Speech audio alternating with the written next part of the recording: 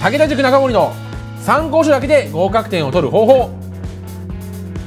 それでは、えー、東邦学院大学の国語の勉強について話していきたいと思います。ここ、現代文のみなんで、実質は、あの、現代文の勉強法ですね。で、えー、出てる問題が大問2題で、えー、時間60分という形になってますが、えー、まあ、問題のテーマが評論はまず基本1題は出て、それ以外は随筆やコラム、えー、など、えー、が出ることもあるという形ですね。で、問題文に対してですね、割と記述問題やマーク問題など、いろいろ答えることがあるので、えー、まあ、え、問題文そのものの難易度自体はま標準的というか基礎的なものが読めれば十分、え、対応できるものではあるんですがいろんな形式解けないとちょっと辛いかなっていう構成になってます。であとはその漢字が四字熟語やあのことわざ、えー、慣用句のようなものを、聞いてきたりするんですが割とそこがですね難易度高めでちょっとそのまあ、勉強したことある人じゃないと答えられないかなっていうのが出てたりはしますので、えー、そこを落としたくない人はちゃちゃんと対策しておかないと厳しいかなとは思います。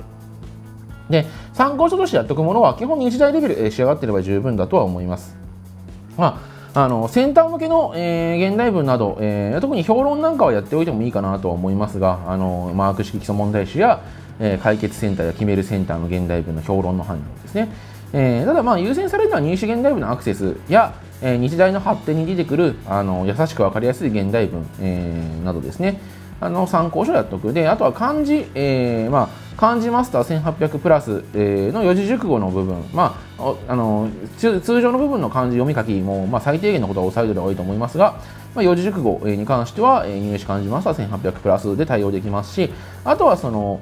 え、慣用句とか、えー、ですね、えー、古事成語とか、そういうのができた時の対策しておきたいっていう場合には、えー、寸大から出てる入試関税1200選、えー、などで、えー、その部分の対策できる部分、えー、ページありますので、まあ、それで対策しておくといいかなと思います。えー、割とここの国語は結構他の教科と比べると若干ちょっと難しいこと聞いてきたり、えー、することがあるかなっていう、えー、科目なので、えー、ちょっとですね、えー、早めに過去問に挑んで実際本当に解けるかなっていろんなバリエーションの問題解けるかなっていうのを確かめてみた方がいいと。でいろんなバリエーション対策としては、え、優しく分かりやすい現代文が、えー、その対策になりますのでそちら、え、使った上で過去問のやり込みを、え、するようにしてください。以上が東北学院大学の、え、国語の現代文の勉強となります。